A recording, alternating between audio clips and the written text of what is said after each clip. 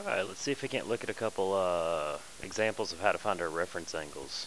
So, first angle we have is 240 degrees, so the first thing we have to do is make sure our angle is between 0 and 360, which as you can see, this one is. So what we're going to do is we're going to figure out what quadrant we're located in. So, rotating, it's more than 90, more than 180, less than 270. So we're going to terminate in quadrant 3. The rules for quadrant 3 are you're going to take your angle, 240 degrees, and subtract from it 180 degrees. So when you do that, you're going to figure out that your reference angle, I'm just going to use an abbreviation, your reference angle will have a 60 degree value. So this angle right here will be 60 degrees. Looking at the next one, negative 20 degrees. Well, negative 20 is not within 360 uh, and 0 degrees. So I'm actually going to find a coterminal angle first. So I'm going to go ahead and add those together. When I do that, I get 340.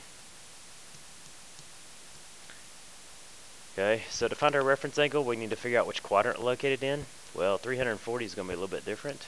So if we rotate, 340 would be right here. Now, once you kind of get a little bit more used to what a reference angle represents, you might be able to do this uh, kind of without going through all the steps. Since we're going to terminate in quadrant 4, you can see we're going to take uh, 340 and subtract it from 360. So as you can see, our reference angle in this case is going to end up being 20 degrees. It should make sense because we're trying to figure out this angle right here. So if I've rotated 20 degrees into this quadrant, then that angle is going to be 20 degrees.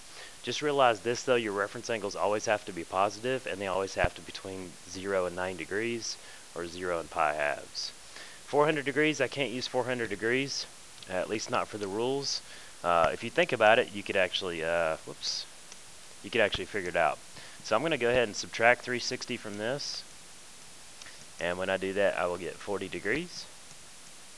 And 40 degrees will actually terminate in the first quadrant. So terminate right here.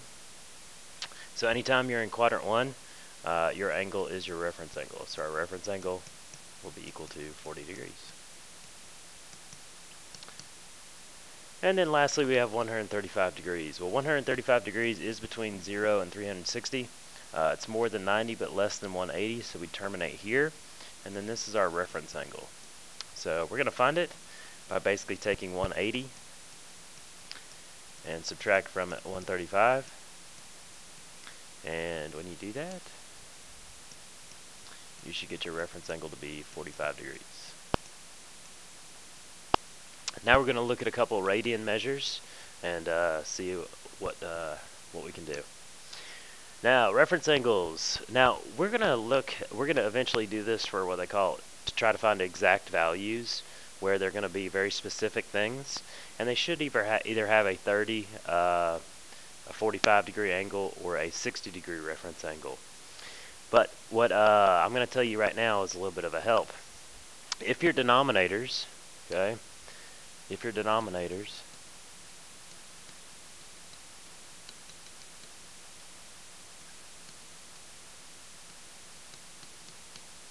If your denominators are 3, 4, and 6, reference angles for radians is pretty easy. If they're not 3, 4, 6, then you actually have to use the rules that I showed you on the other page about how to calculate your reference angle. Okay, uh, here's how it works. I'm going to do these real quick and we'll see if we can't figure it out. The reference angle for 70 pi thirds is pi thirds. The reference angle of negative 13 pi fourths is pi fourths. Make sure it's positive. You always have to have a positive reference angle. And 1495 pi 6, the reference angle is pi over 6. So if your denominators are 3, 4, or 6, all you have to do to find your reference angle, it's going to be pi over your denominator. So kind of keep that in mind. Easy way to find reference angles for radians. However, if it's not 3, 4, 6 in your denominator, then you have to go back and use the rules that we would figure out uh, that I showed you earlier for reference angles for radians.